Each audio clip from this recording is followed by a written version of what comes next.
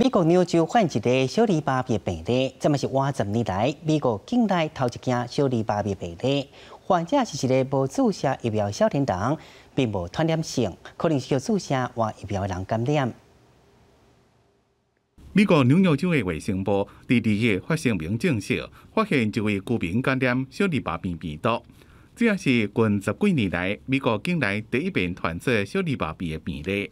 One of our residents is confirmed to have polio, a contagious viral illness, and I want to stress that this individual is no longer contagious. Two doses of the series provides about 90% effectiveness. The third dose gives them more than 99% efficacy. 官员讲，患者是一位无做过疫苗的少年人，可能是被做过活疫苗的人感染。 也强调，若完整做过三期小儿麻痹疫苗的人，被感染的风险正低。一般常见的小儿麻痹症，也就是所谓的就是肺积炎，是一种会影响神经系统，并且造成肌肉无力的病毒性疾病。这种病毒一般拢是由喙进入人体。伫咧过去，捌伫美国每年造成几多千人的病例，主要拢是发生伫咧囡仔身躯顶。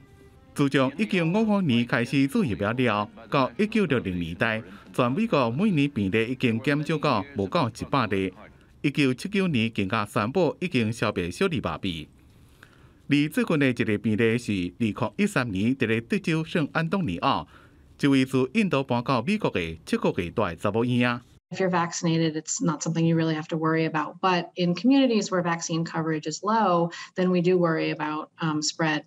Um, and so um, this is not the first vaccine preventable illness we've actually seen in Rockland County. And um, just before the pandemic, there was a very large measles outbreak in Rockland County. Um, also due to low vaccine coverage. 伫阿富汗加巴基斯坦，小儿麻痹症是当地流行病。